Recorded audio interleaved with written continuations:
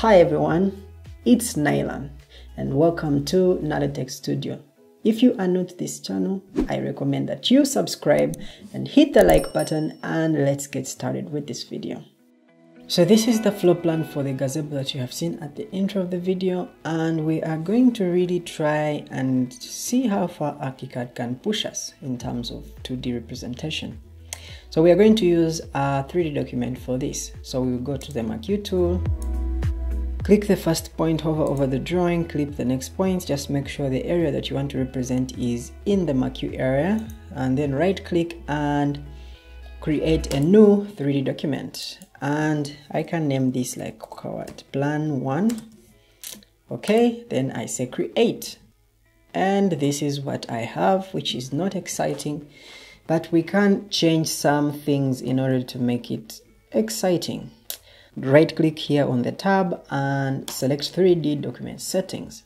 So in these settings, we can tweak a few things. One is under floor plan projection.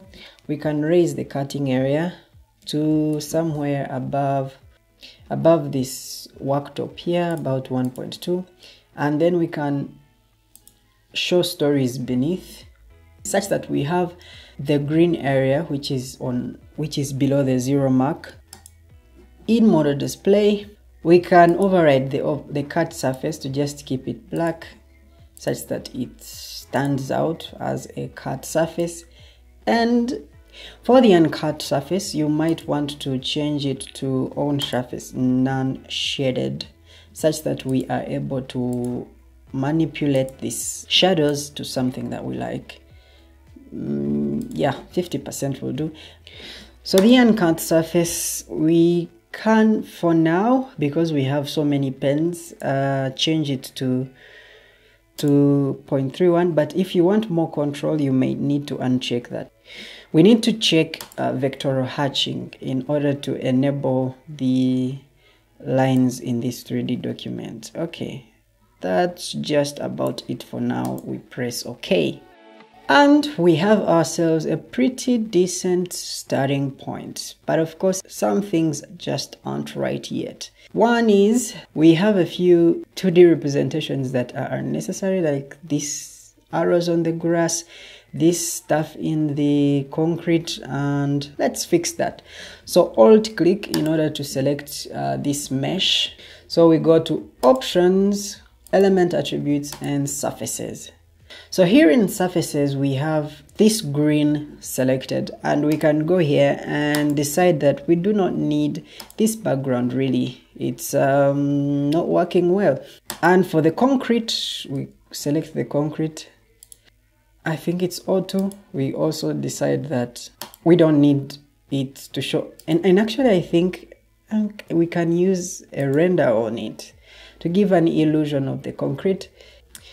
And for the grass that we just changed, I think it might use a little bit of tweaking of the color. We take it just a bit down. I think I like a lighter green that is not going to compete with the rest of the drawing.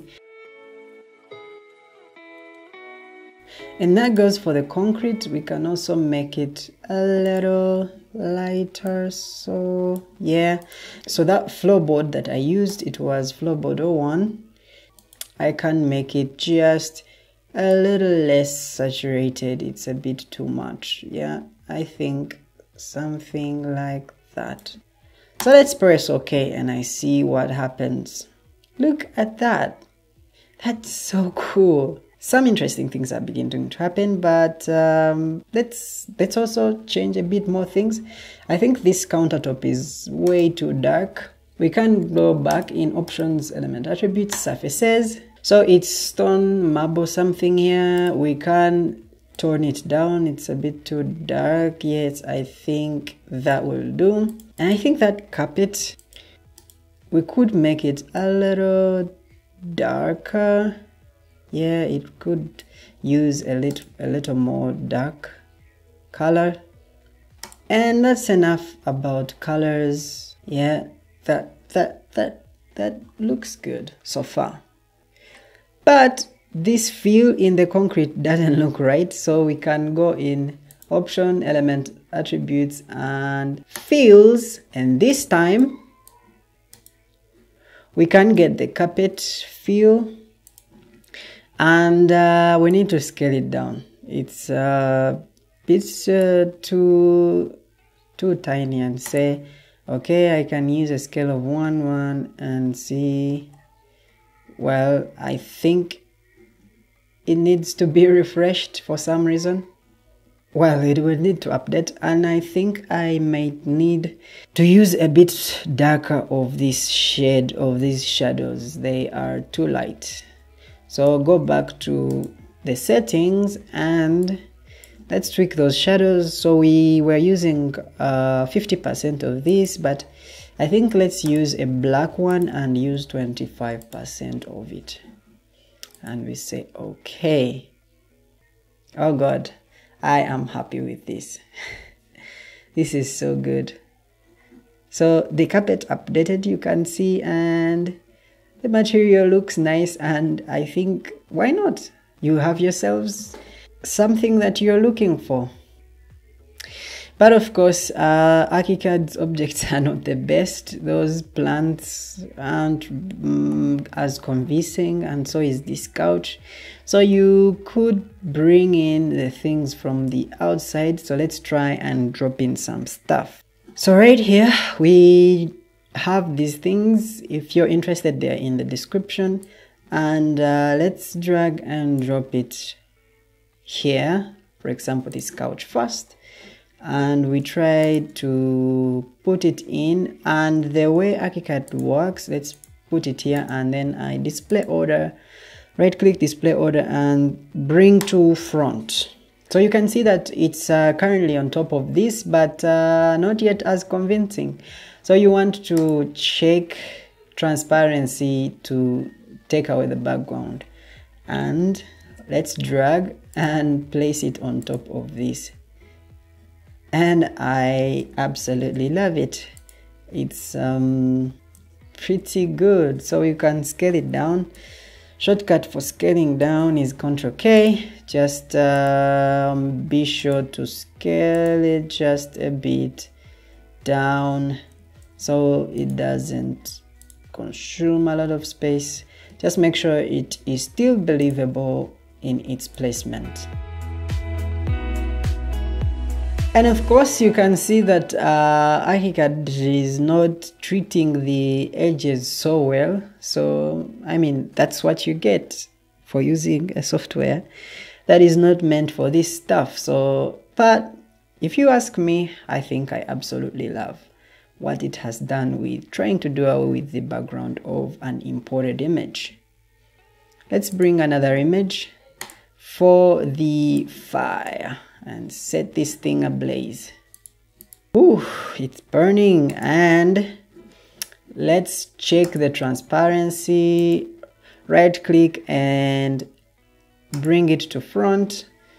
And I think this is quite good how it has dealt with it. So let's Control K to size it down and we will have it so small such that it fits within this thing rotate and size it down.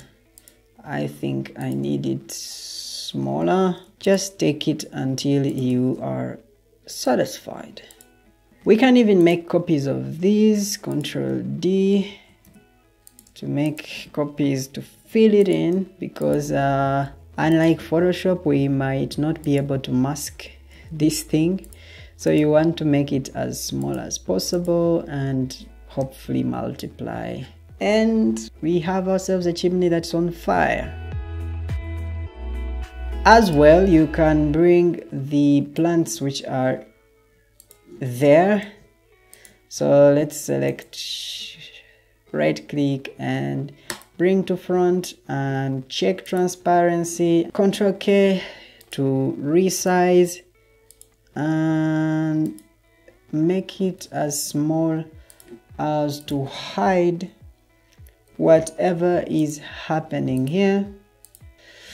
And we need two more copies of this. Ctrl Shift D to drag, Ctrl Shift D to drag, and Of course, some imperfections are there because Archicad is not treating PNGs accurately well, but um, the other option that you do have actually is to bring in a model, the actual model in Archicad, which is uh, easy to do and maybe I'll make a video on how to import a model with that but also you have to be careful when you're importing a model because Archicad will oftentimes be heavier and start to crash if you use many models that are imported within. Let's also bring this finally and place it at the segmented column area. Because we are using 2D elements, we are not able to work with the shadows to make this part lighter and this one to be in a shadow. So, like I said, that's what you get. But overall, if you ask me, I think I genuinely love this and I would use it. If you want more control of uh, making something a little bit more realistic, you can watch the Photoshop video that I have made. It's uh, the link is up here somewhere there and the also in the description below just go and check it out and you can be able to make something a little better than this but for someone who is not familiar with photoshop i still think that this is a good option for you? Because here we have a few shortcomings that we cannot work with like you know naturally fading these shadows because of the radius of the sun you would not have a perfect shadow here. It would you know have some tones. Uh, these pngs would be a bit more crisp and also also the textures would be better improved and i just wish that uh, there was a way of importing a texture a 3d a texture in this 3d document it would be kind of nice but currently i'm yet to find out whether it's possible Thank you for watching, and I'll see you in the next one. Bye.